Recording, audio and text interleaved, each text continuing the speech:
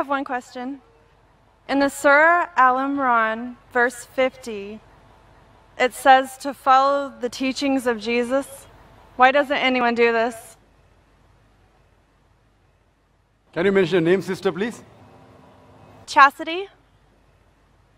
Sister asked a question that the Quran says in Surah Imran, chapter 3, verse number 50, that we have to follow the teachings of Jesus Christ, peace be upon him. And there are many verses which say that we have to believe in Jesus, peace be upon him. Sister, let me clarify that Islam is the only non Christian faith which makes it an article of faith to believe in Jesus Christ, peace be upon him. No Muslim is a Muslim if he does not believe in Jesus Christ, peace be upon him. We believe that he was one of the mightiest messengers of Allah subhanahu wa ta'ala. We believe that he was the Messiah translated Christ. We believe that he was born miraculously without any male intervention, which many modern Christians today do not believe. We believe that he gave life to the dead with God's permission. We believe that he healed those born blind and lepers with God's permission. The Christian and the Muslim sister, we are going together. But one may ask, where is the parting of ways? The parting of ways is, sister, that many Christians, they say that Jesus Christ, peace be upon him, he claimed divinity. He said that he was Almighty God. If you read the Bible, sister, there is not a single unequivocal statement in the complete Bible where Jesus Christ, peace be upon him, himself says that I am God, or he says, worship me. If any Christian can point out a single unequivocal statement, a single unambiguous statement in the complete Bible where Jesus Christ, peace be upon him, himself says that I am God, or where he says, worship me, I am ready to accept Christianity today.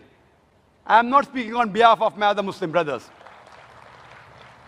In fact, if you read the Bible, it's mentioned in the Gospel of John, chapter number 14, verse number 28. Jesus Christ, peace be upon him, said, My Father is greater than I. Gospel of John, chapter number 10, verse number 29. My Father is greater than all. Gospel of Matthew, chapter number 12, verse number 28. I cast out devil with the Spirit of God. Gospel of Luke, chapter number 11, verse number 20. I cast out devil with the finger of God. Gospel of John, chapter number 5, verse number 30. I can of my own self do nothing. As I hear, I judge, and my judgment is just. For I seek not my will, but the will of Almighty God. But the will of my Father.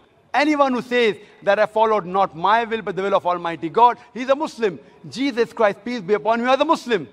He never claimed divinity. And it's clearly mentioned in the book of Acts, chapter number 2, verse number 22. Ye men of Israel, listen to this. Jesus of Nazareth, a man approved of God amongst you by wonders and miracles and signs which God did by him, and you are witness to it.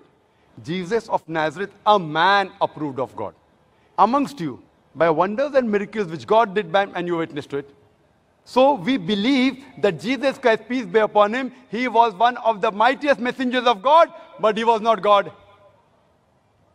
So here we differ. As far as the teachings are concerned, your basic question was that Quran says we have to follow the teachings of Jesus Christ, peace be upon him.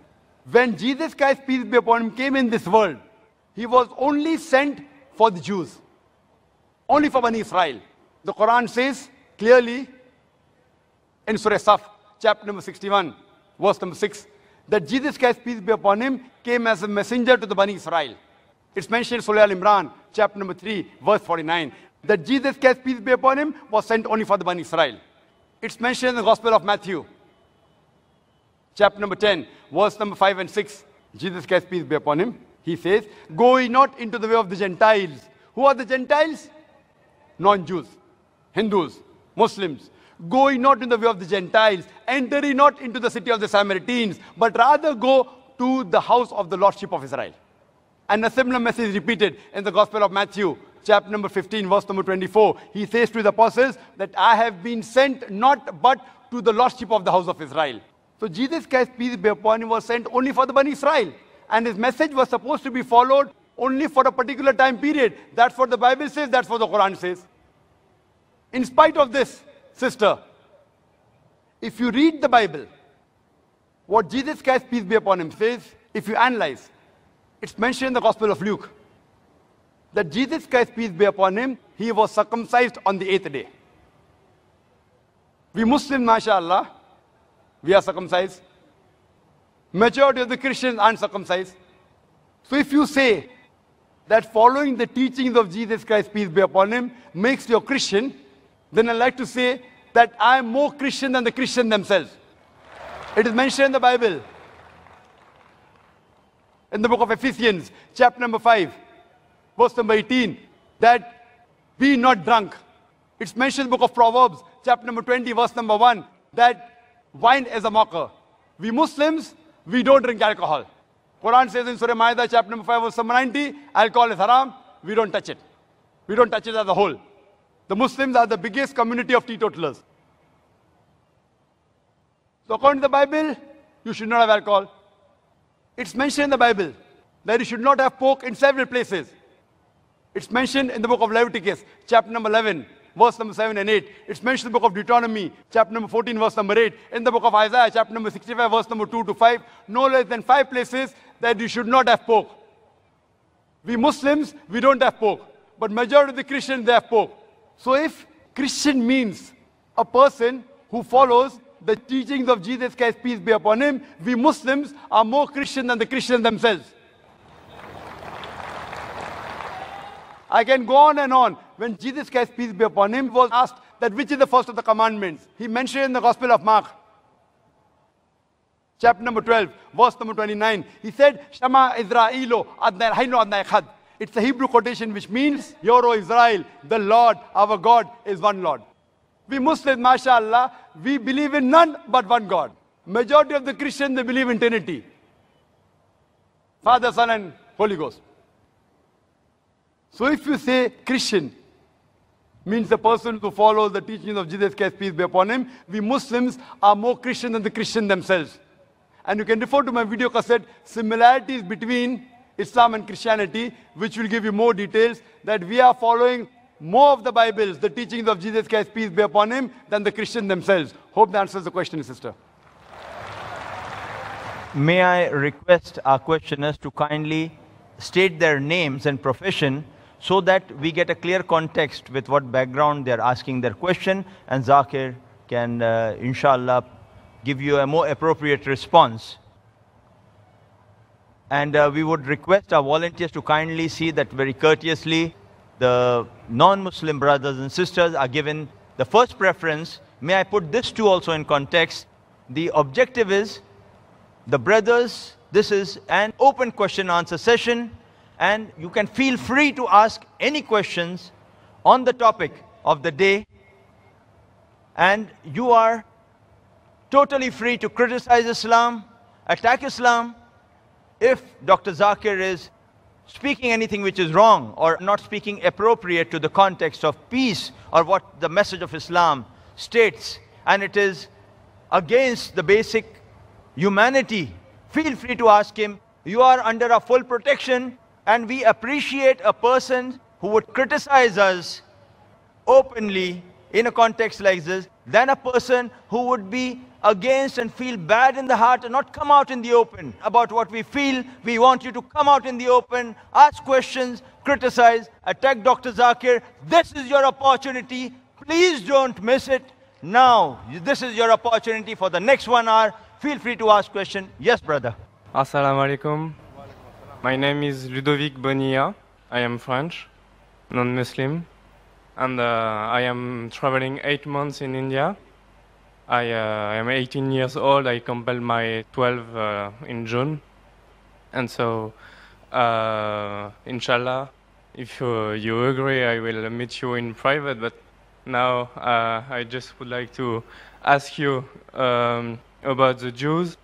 Uh, maybe, if I am not wrong, you said that it is written in the Quran that Jews and pagans are the uh, strength, uh, strong enemies uh, of believers, Muslim believers, Muslim. And uh, I would like to know how this verse can favorize peace in, in humankind uh, when we see the troubles between Palestine and Israel, uh, how some Muslim and some Jews can uh, cannot be cannot misunderstand this verse because maybe it can uh, provoke uh, it can provoke some uh, misun- misinterpretation, or if it's literally that uh, Jews and Muslims have to be enemies.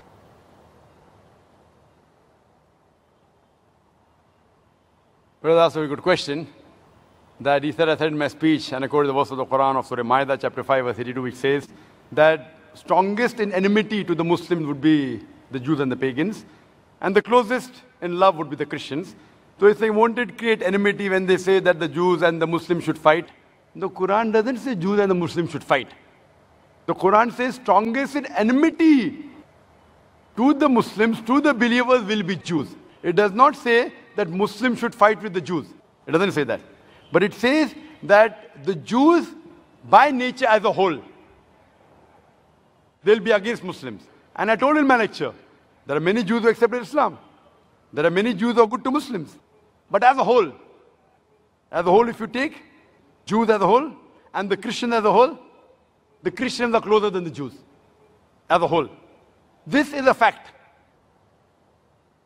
For example, the Quran says that the Jews are intelligent also. That's a fact. If they're intelligent, they're intelligent. That doesn't mean that it hides the fact. And the Quran also says that they will be as a whole a staunchest enemy. So this is one of the falsification tests. That today, if you want to prove the Quran wrong, if the Jews, the Jews get together, all of them, and they decide, Let, let's prove the Quran wrong. At least for three, four years, we will be better than the Christians. Let's stop the war of Palestine. You know the Palestinians? The Jews were kicked out by Hitler. Hitler incinerated six million Jews. He kicked them out of Germany.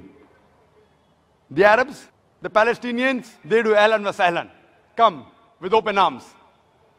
After a few years, they are kicked out of the home.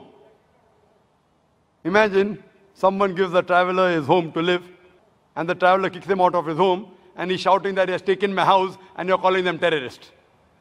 So what they have to do is, let's get together and solve this problem. Whatever the problem is. Today, America is controlled by the Jews, whether it be the banks, whether it be the money, whether it be the power. According to the American survey, no one can become a president of USA without walking the Star of David. So the Jews are a minority, less than 5% in America. But they're controlling the economy, they're controlling America. Fine? So if they're controlling America, let all of this, let's solve the problem of Palestine, let's solve the American problem.